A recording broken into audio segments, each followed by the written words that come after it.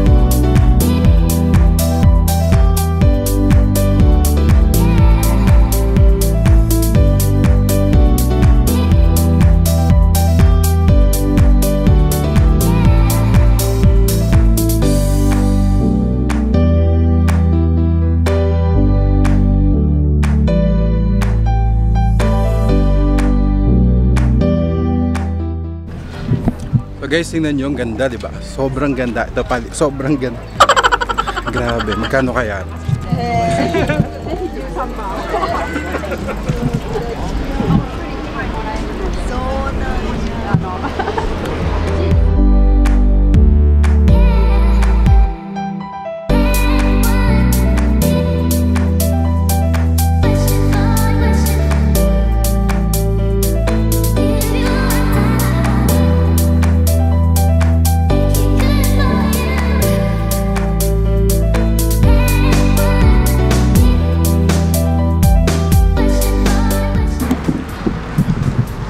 Guys, gusto nyo makakita ng pinakamaliit na sasakyan? Andito guys.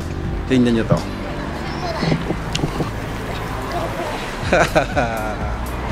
nice one. Pinakamaliit.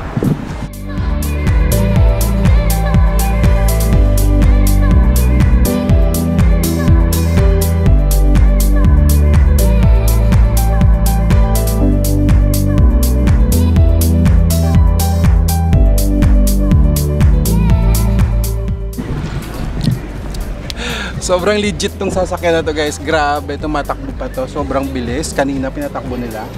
At ang, ang liit niya, sobra. Tingnan nyo oh.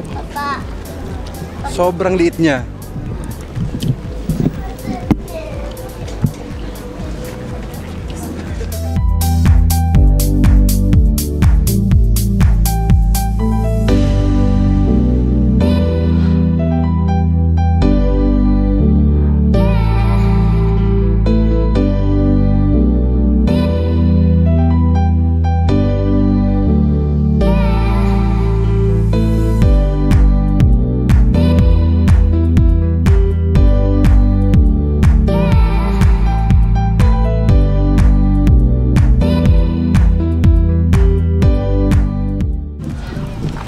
Grabe, sobrang liit ng mga sasakyan, guys. Panalo talaga. No, ang sarap no, sana sana all, sana sa akin din tong isa nito. Ah, sobrang ganda. Oh my god. Kita nyo?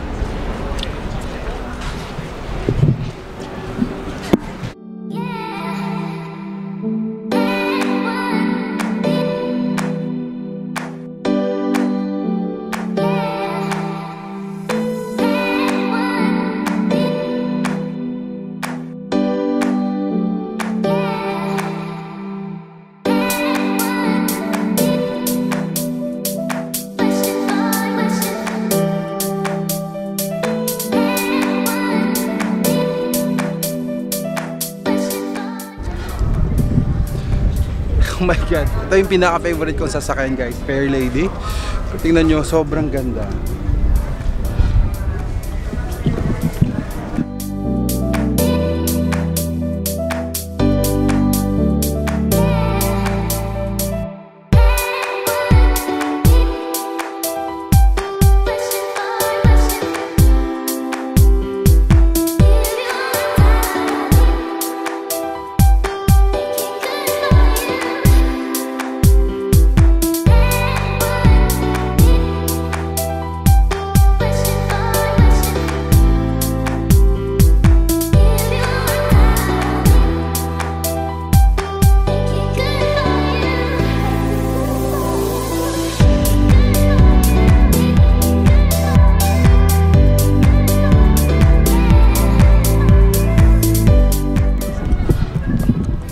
Guys, kayo na lang bahala pumili kung anong gusto nyo. Grabe, sobrang dami ng mga sasakyan dito. More or less nasa 100 plus.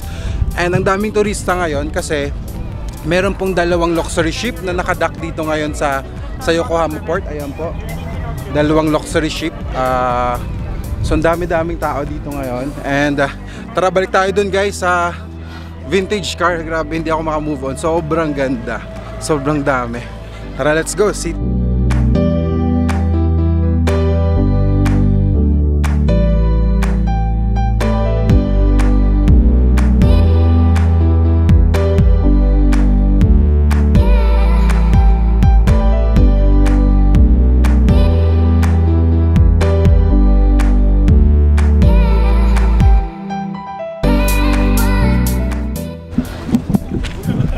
Guys, nandito mga World War II na mga jeep. Sobrang ganda, grabe guys. Ah, nakakatindig balahibo yung mga history nung, ah, nung mga sasakyan na to. Diba? Nung may jeep oh, ganda. Sobrang ganda guys. Ayan.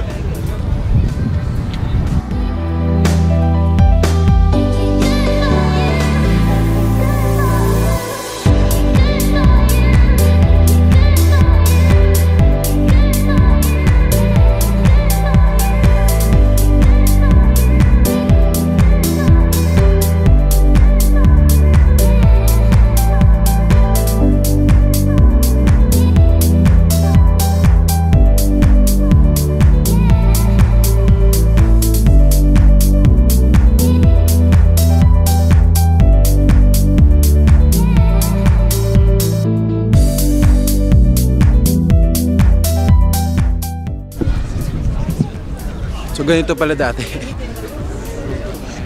so ganun pala dati yung pagbukas ng mga pintuan. Ang galing sobra. Ito pa guys, sobrang liit. Sobrang liit para siyang spaceship. Tingnan nyo to.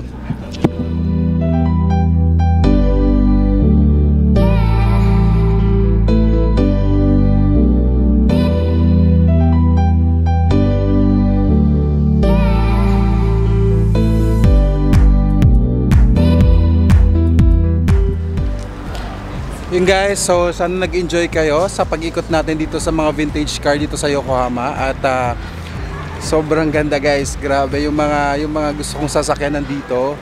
Yung mga dating pinapanood ko lang sa TV at ah, nakikita ko lang sa mga magazines. Sobrang nandito lahat. So first time experience ko makakita ng mga ganitong sasakyan.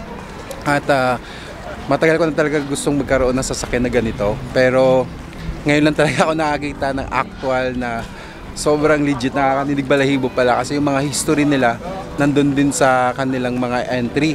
So hindi ko alam kung contest to or show ah, car show lang pero may mga judges na umiikot. So more or less siguro may premyo to. So sobrang ganda guys. Grabe na and guys don't forget to like share and subscribe. See you my next vlog. Bye bye Hey guys, sila Mamay Sky, sila mga langga. So, dito tayo sa Yokohama.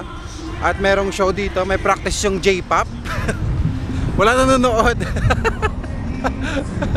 Wala nanonood sa J-pop. So, yan. Tara guys, samahan nyo ako dali. 今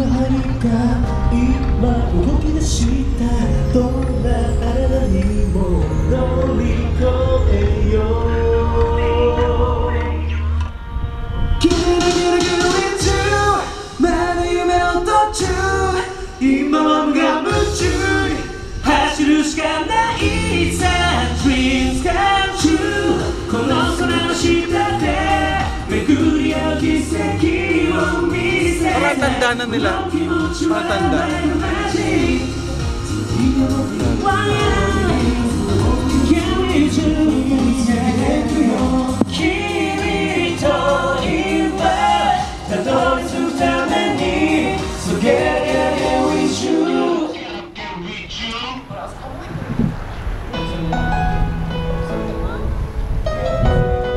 これで曲紹介しても大丈夫の曲だと曲紹介させていただきます Yan guys, so ganito yung J-pop nila na. Ang layo dun sa sa K-pop. Bawal daw, sinasabi. Tingnan din. Hindi oh. 切なくて それが Narinig nyo? Magaling mo siya kumanta? Hindi naman yun, no? Okay, 上げてもらっていいですか Bawal video. bawal video, bawal video. Bawal daw video, guys. Pero mo ganun to sila sa Japan. Ah, bawal picturean, bawal videoan. Kahit naka-public yung kanilang mga artista, bawal pa rin.